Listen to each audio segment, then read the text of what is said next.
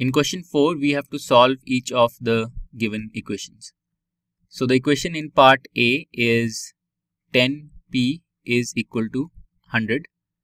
So we will uh, separate the variable p by dividing by 10 on both sides. So that is the step that we're going to carry out.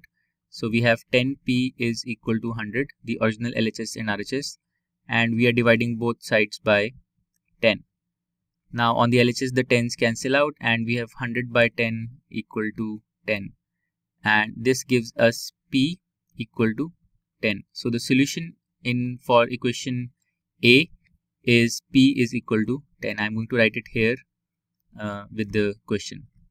Okay, now in part B the equation is 10P plus 10 equal to 100. So first we will get rid of this 10 by subtracting 10 on both sides.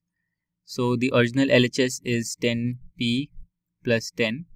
The original RHS is 100 and we are going to subtract 10 on both sides. So minus 10 and minus 10. Now these 10s cancel out and on the RHS we have 100 minus 10 which is equal to 90. So we get 10p on the LHS and 90 on the RHS. But we have still not separated out P. To do that, we will now need to divide by 10 on both sides because we need to get rid of this 10. Okay, so let's do that. So we have 10P equal to 90 and we are dividing both of these LHS and RHS by 10. Okay, so the 10s cancel out on the LHS and 90 by 10 is 9 so we obtain P equal to 9. This is the solution of the equation in part B. Let's write it here. The solution is 9. In part C, the equation is P by 4 equal to 5. So we have this 4 in the denominator on the LHS. To get rid of this, we will multiply by 4 on both sides. So we have P by 4, the original LHS, equal to 5 the original RHS and we are going to multiply both sides by 4. So on the LHS these 4's cancel out and on the RHS 5 into 4 is 20. So we obtain P is equal to 20. So the solution in part C is P is equal to 20.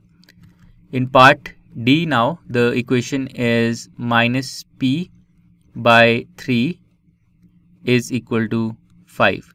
So first let's get rid of this 3 by multiplying by 3 on both sides. So the original LHS is minus P by 3. The original RHS is 5 and we will multiply by 3 on both sides. So on the LHS the 3's cancel out on the RHS 5 into 3 is 15. So we get minus P is equal to 15 but what we need is the value of p. So now we can multiply by minus 1 on both sides. So let's do that. So we have minus p equal to 15 and I am going to multiply by minus 1 on both sides.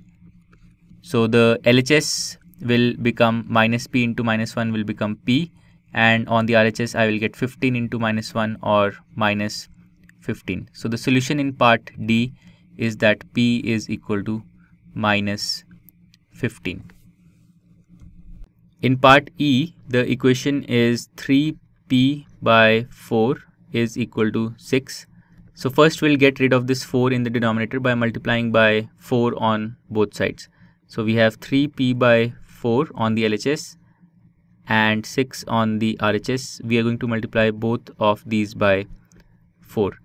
So on the LHS, the 4's cancel out and on the RHS, we have 6 into 4, which is 24. So we get the equation 3P is equal to 24.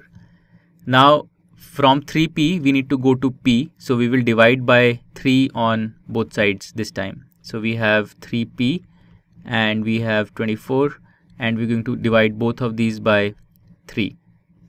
So this is what we get on the LHS. The 3's cancel out. On the RHS, 24 by 3 is 8. And this gives us P is equal to 8.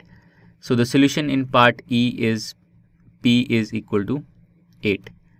In part f, the equation is 3s is equal to minus 9.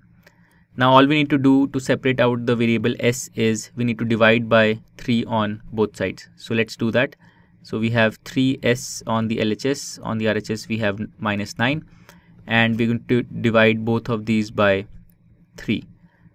So on the LHS the 3's cancel out and on the RHS minus 9 by 3 is minus 3. So we are left with S is equal to minus 3. So the solution in part F is minus S is equal to minus 3. In part G, the equation is 3s plus 12 is equal to 0.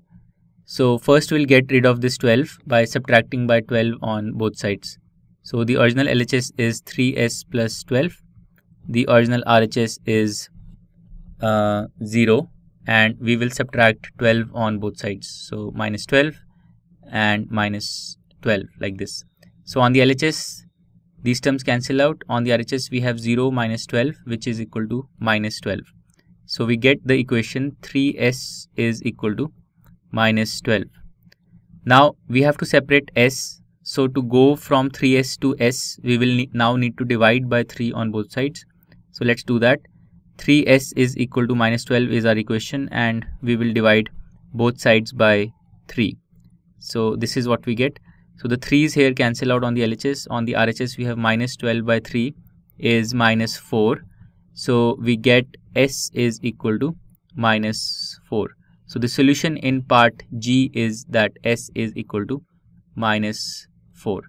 In part H the equation is quite simple 3S is equal to 0 and to separate out S we need to divide by 3 on both sides so we have 3s is equal to 0 and we will divide both sides by 3.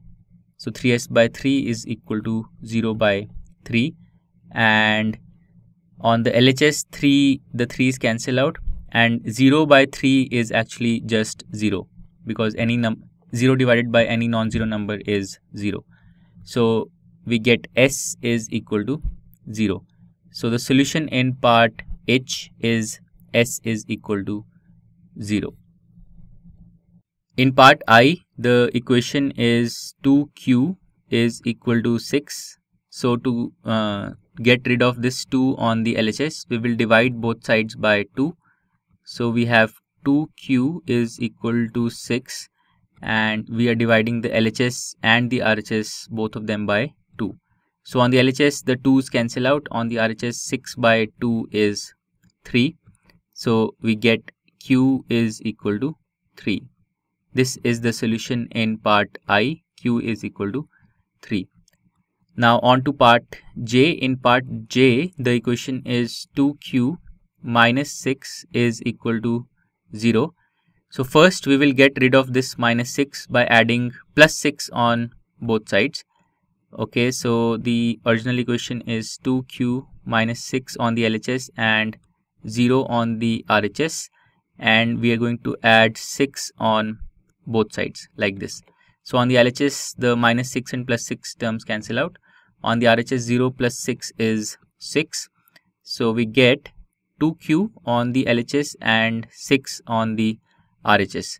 Now we need to um, separate out q from uh, 2q. So we will need to divide both sides by 2. So let's do that. So we have 2q and 6 on the RHS and we have to divide both sides by 2 okay so on the LHS the 2's cancel out on the RHS uh, 6 by 2 is 3 so we are left with Q is equal to 3 so the solution in part J is Q is equal to 3 in part K the equation is 2Q plus 6 is equal to 0. So the only difference of this equation from the previous equation is instead of minus 6 we have plus 6. So first we will, we will get rid of this plus 6 by subtracting 6 on both sides. So that's our first step. So we have 2q plus 6 the original LHS equal to 0 the original RHS and we will subtract 6 from both sides.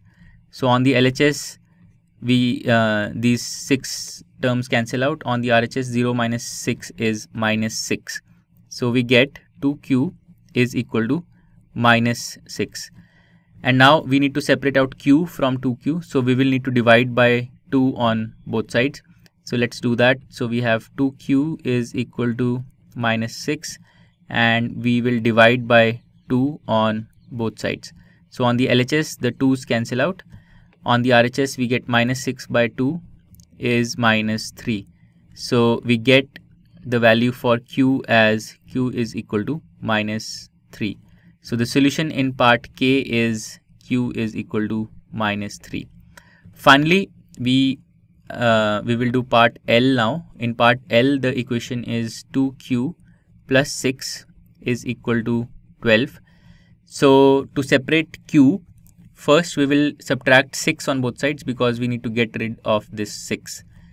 Okay, so let's do that. So we have 2q plus 6 on the LHS. On the RHS we have 12 and we will subtract 6 on both sides. So minus 6 and minus 6. So on the LHS these 6 terms cancel out. On the RHS we have 12 minus 6 is equal to 6. So we get the equation 2q is equal to 6. And now we have to get rid of this 2. So we will divide by 2 on both sides. So let's do that and we get 2q equal to 6 dividing by 2 on both sides. This is what we get. On the LHS the 2's cancel out. On the RHS 6 by 2 is 3. So we get the solution Q is equal to 3. So the solution in part L is that Q is equal to 3. And with this we have completed all the parts of question number 4.